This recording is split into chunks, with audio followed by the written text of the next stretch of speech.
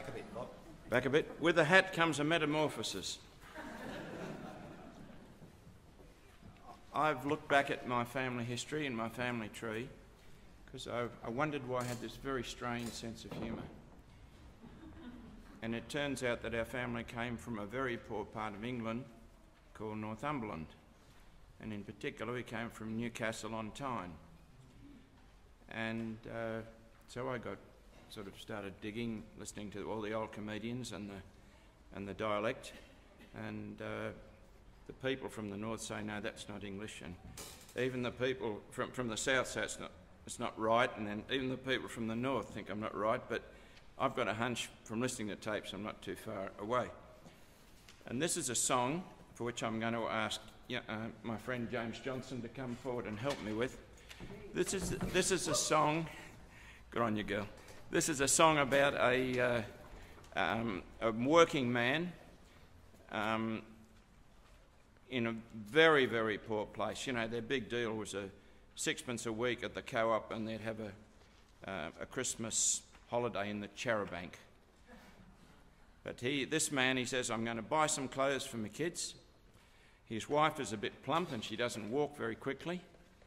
And I'll let the words actually speak for themselves. And it's oh no, I've got to teach a chorus.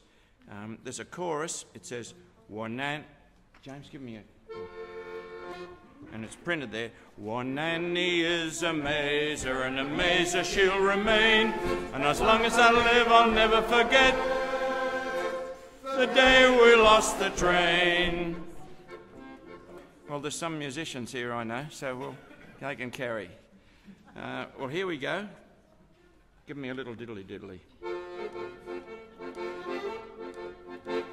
When Annie and me, when, when Annie and me made up our minds to gan and catch the train, to gan to the turn to buy some clothes for war little Billy and Jane. But when we got to Rowlands Gill, the morning train was gone, and there wasn't another one going that way till 17 minutes to one. So I says to her nan, it's a long way to gan, and I see by her face she was vexed. But I says, never mind, we'll have plenty of time, we'll stop and get on with the next. She gave a bit smile and spoke up and says, there's a public house along here. We'll go along there and get ourselves warm and a glass of the best bit of beer. But Nan was just stout. I knew she'd not work, and she didn't seem willing to try. When I think of the trouble I'd have her that day, I'd like to burst out and cry. Now, and when it's a mazer and a mazer she'll remain, as long as I live I won't forget the day we lost the train. We, we went to the public house. When we got to the door, she says, Well, into the parlour in, for I've never been there before. So in we went and took our seats, and afore I rang the bell, I asked her what she was going to have, and she says, the same as yourself. So I called for two gills of the best bit of beer. She paid for them when they come in. And afore she'd swallowed a half or she said, I would rather have gin. So I called for a glass of the best Hollands gin. She swallowed it doing the first try. I says to her nan, that's as good as a man. She says, Bob, man, I feel very dry. Incidentally, a mazer is an amazing woman. So off we go. One Annie is a mazer, and a mazer she'll remain. As long as I live, I won't forget the day we lost the train. Drama. She sat and drank till she got tight. She says, Bob, man, I feel very queer. I says, there's had nine glasses of gin to my two gills of beer. She lost her hat and then her shawl and hoyed them on the floor. I thought when Anne was going wrong of her mind, so I set myself down near the door. She says, Give us order, I'll sing a bit sung. I sat and I glowed at her. I thought she was joking, for I never heard one nanny sing any song before. She tried to stand up to sing the cat pie, but she fell down and made such a clatter. She smashed forward chairs, and the landlord came in and he says, What the deuce is the matter? He, he says to me, Is this your wife, and where do ye belong? I says it is, and she's ta'en a fit with trying to sing a bit sung.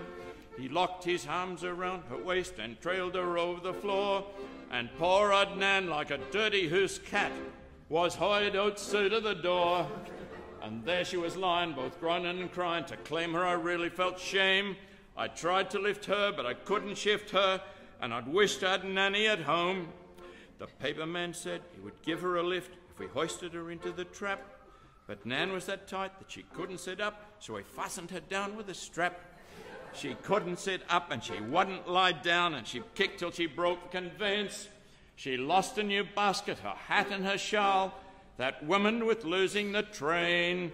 Now, what Nanny's a mazer and a mazer she'll remain.